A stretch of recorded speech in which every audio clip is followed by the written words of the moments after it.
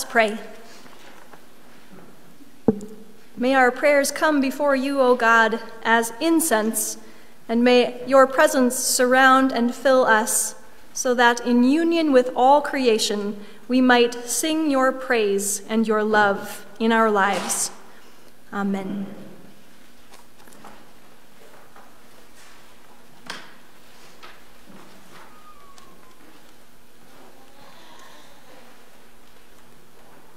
Good evening. Am I on? Hello. Okay.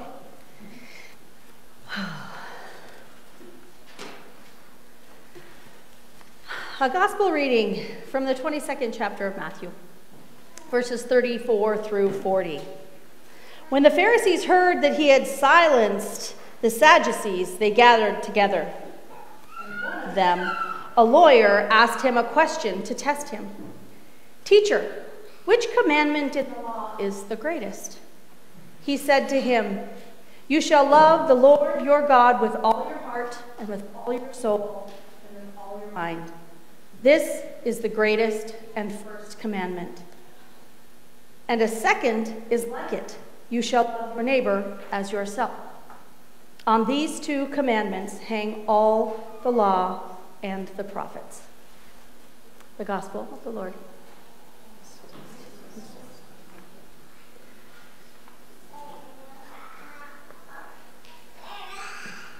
So, two weeks ago, I started my new part time position here at St. John. I was really excited to get going, could hardly wait to dive in and learn all of the wonderful things that I was going to learn and begin helping in any way I possibly could. Pastor Lisa and the rest of the staff were so welcoming. In fact, it worked out perfectly. Day one was a staff retreat at Badlands Bible Camp. Great way to get to know one another, learn more about um, things that we're going to be doing here at St. John, and learn more about the staff as people. It's a wonderful day, and the weather was gorgeous. We could actually be outside, so that was nice too. But day number two, time in the church office, time to get to work. So as I came into the church office that second day, Pastor Lisa came bounding, and I really mean bounding, out of her office she opens the door to what is now my office with an excited flair. She was giddy that I was here, and the welcome honestly filled my heart. We spent time that morning talking about schedules and plans and, and what were some of the things that would, I would be doing. Other staff would come by and uh, give me another welcome as they came by the office. To say I felt blessed in those moments is an understatement. But time to get to work. But first, a hot cup of tea. Time to have a tea. The staff kitchen is just right there outside of the offices, and it has a Keurig. Now, be honest, how many of you have a Keurig or something kind of like it, right? You know how it works. You know how it works. I have a similar machine at home. So I knew what to do. I opened the lid, took out the used K cup, tossed it in the trash, put my cup under there, closed it, and pushed the button. Nothing. Dribble of water in the bottom of my cup. I thought, what the heck? So I looked, and it said I was supposed to dispense six ounces of water. Well, that certainly was not six ounces of water. So I thought, well, open the thing, close it again, push the button. Dribble, dribble, dribble into the bottom of my cup. Okay. The water reserve. Maybe it's empty. So I look at the water reserve, which is rather large. No, half full. Well, that seems odd. Maybe it's not seated right down in there good enough. So I remove the water reserve, and water starts draining from the bottom of it all over the counter. And my thought was, oh no, I busted the coffee pot on the first day. I broke the church coffee pot. This is not good. Okay, fill the reserve, clean up the water, seat it back in there really good. Push the button. Dribble, dribble, dribble. Okay. Kind of feeling foolish. I step to Pastor Lisa's office and I say to her, Do you know how to make this thing dispense water? She says, Well, I've only got coffee out of it before. I just put the cup in and push the button and I get my cup of coffee. And I thought, Okay. I broke the coffee pot. I was a little sheepish. So I stepped back in there and I thought, okay, Ellie, don't panic. Figure this out. You're a problem solver. So I looked one more time and it said, press and hold for six ounces of water. Did you hear the problem? Press and hold for six ounces of water. I did that. I stood there, pressing and holding. I got six ounces of water. Woohoo! I did not break the coffee pot. I did that two more times because I had a 20 ounce cup, had to fill my cup with hot water, make sure I had all the tea I needed to get started on my task. No mess, no fuss, no problem. I did not, I did not break the coffee maker. The Ten Commandments, they're instructions from God. We have seen or heard them numerous times throughout our lives. But how often do we glance past them? Just like I glanced at the Keurig display, thinking I knew what it said. I didn't. Only when I slowed down and I read the instructions really clearly and I pressed the button and held it did I get what it was I wanted. Only when we slow down and hold on for a couple of minutes as we read these Ten Commandments do, do we get the desire of our heart and the desire of God's heart. So let's take a look at them. Slow down and hold on a couple of different words through the next Ten Commandments. Number one, you shall have no other gods.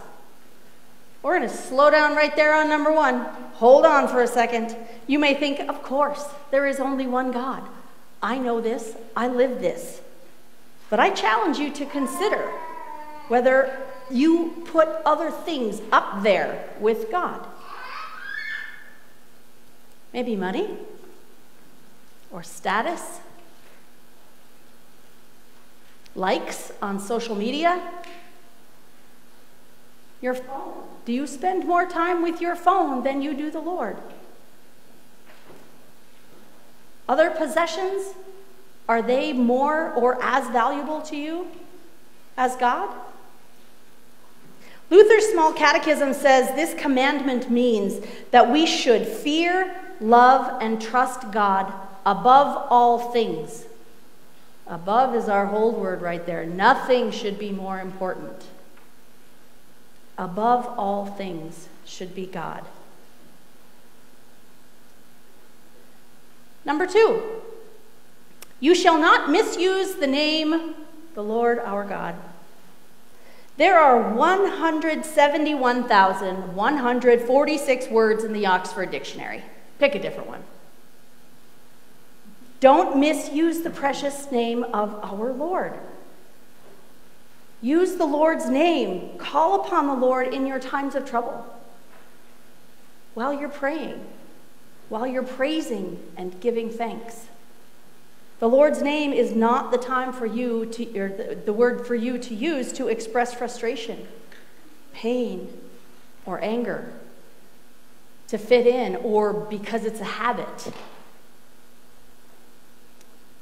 Commandment number three remember Day by keeping it holy. Let's slow down just for a second there and hold on the word holy. Holy is loving God enough to keep God's word sacred, gladly hearing it and learning it. Loving God enough to keep God's word sacred, gladly hearing it and learning it. That's how we keep it holy. Commandment number four honor your father and mother. Honor doesn't mean agree, it doesn't have to mean agree. Honor is different. Honor means serve, obey, love, and cherish them. Ask nearly anyone who has lost their father or mother, and they will tell you the value of this commandment. Commandment number five you shall not murder. That one seems like, check, I got that one. I know that. No murder here. Might seem super easy, but Martin Luther says that what that truly means is we should not hurt or harm our neighbor in his body, but help and support him in every physical need. In every physical need. Shovel their snow. Give them a ride.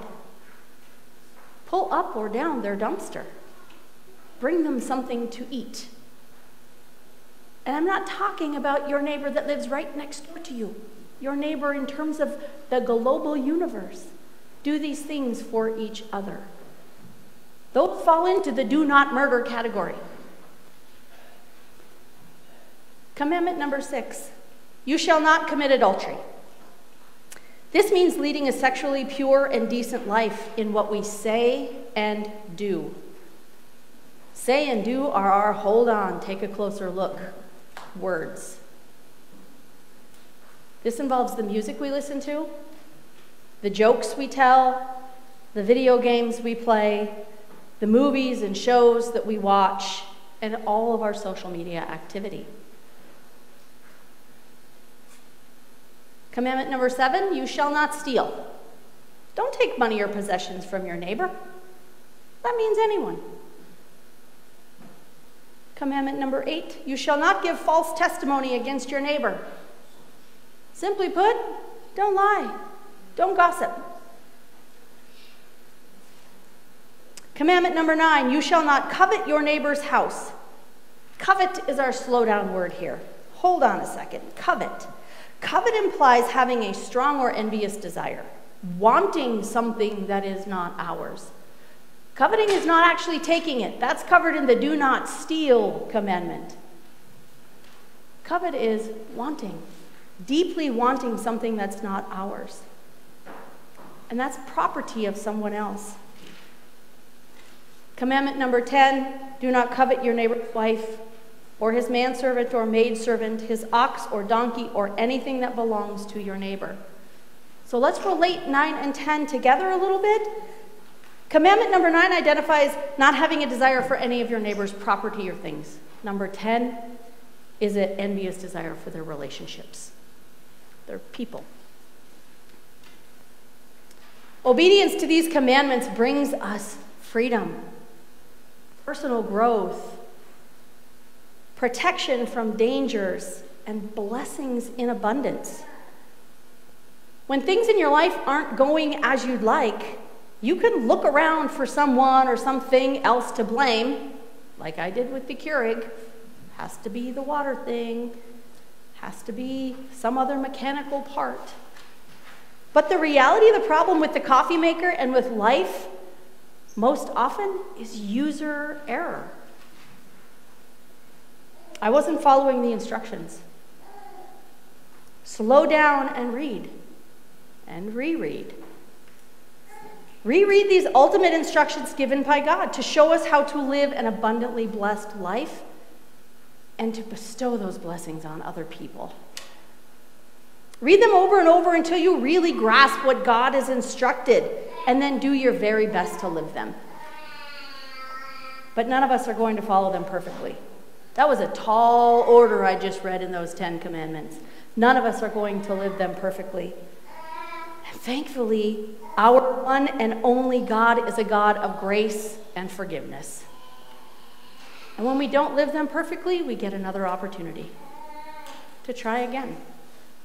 Slow down, hold on those words repeatedly, and you will watch your cup overflow. Amen.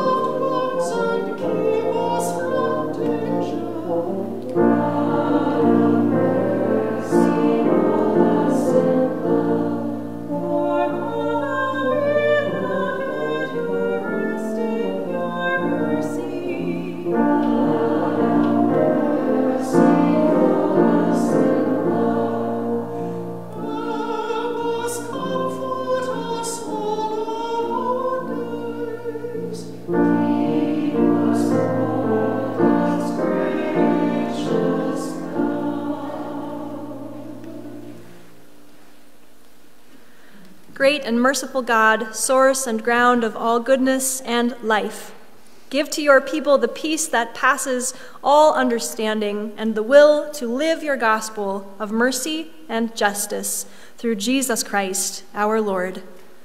Amen. Please stand as you may. As we share the peace in the room and on Facebook Live, the peace of Christ be with you always.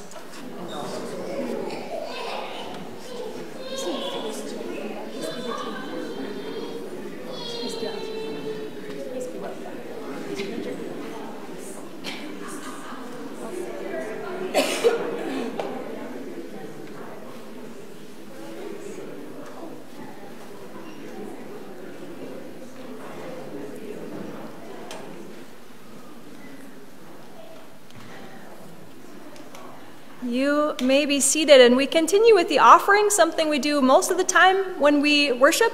The offering is not only the things you put in the plate, but it is the way that you offer a welcome in worship. It is the music that you sing. Thank you to Kevin and Cheryl and Kayla and Percy for sharing your gifts. Uh, an offering is a sermon. There are many ways that you offer back the gifts that God has first given to you.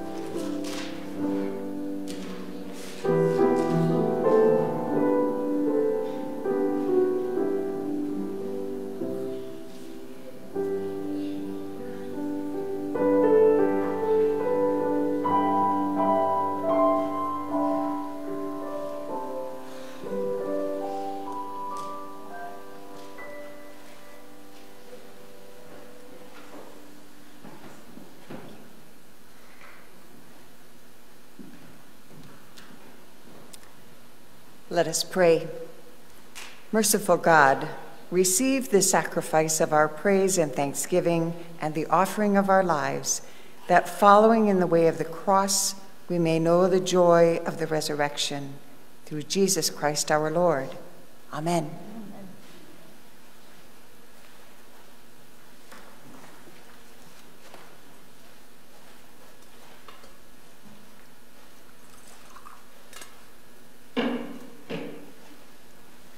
In the night in which he was betrayed, our Lord Jesus took bread and gave thanks. He broke it, he gave it to his disciples, saying, Take and eat, this is my body given for you. Do this for the remembrance of me. And again, after supper, he took the cup and gave thanks. He gave it for all to drink, saying, This cup is the new covenant in my blood, shed for you and for all people for the forgiveness of sin. Do this for the remembrance of me. Lord, remember us in your kingdom and teach us to pray. Our Father in heaven, hallowed be your name. Your kingdom come, your will be done, on earth as in heaven. Give us today our daily bread. Forgive us our sins as we forgive those who sin against us. Save us from the time of trial and deliver us from evil. For the kingdom, the power, and the glory are yours, now and forever. Amen. We'll serve communion by intinction, so we'll have two stations out in front of the communion rails, and you can come up the center aisle, receive the sacrament, and go back to your seat up the side aisle. Remember, on Wednesdays during Lent, we have been souring the wine with some pretty strong vinegar. So remember, when you dip your bread into the wine, it will not taste great because we've soured the wine on Wednesdays. So you can taste the sweetness of the resurrection on Sundays because every Sunday is an Easter day.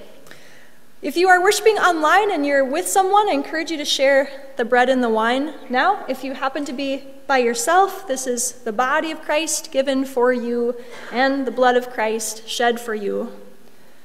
Come to this meal of mercy, come as you are.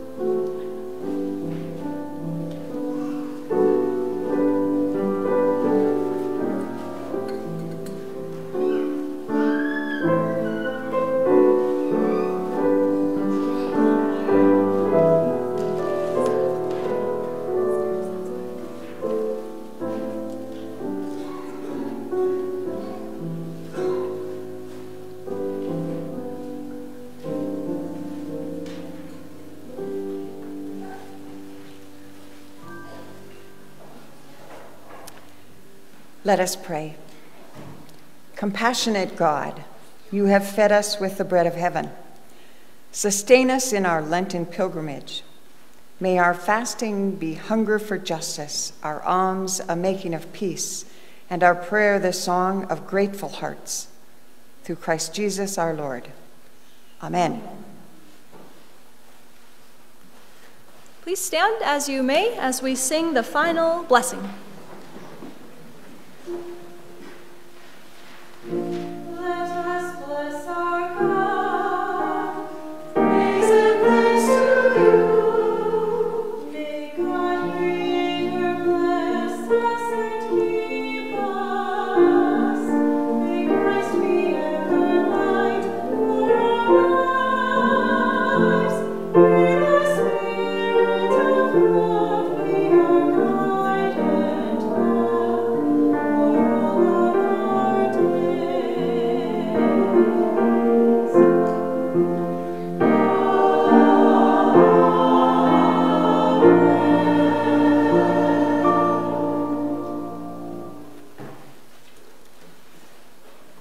Marked with the cross of Christ, go forth to love and to serve the Lord. Thanks be to God.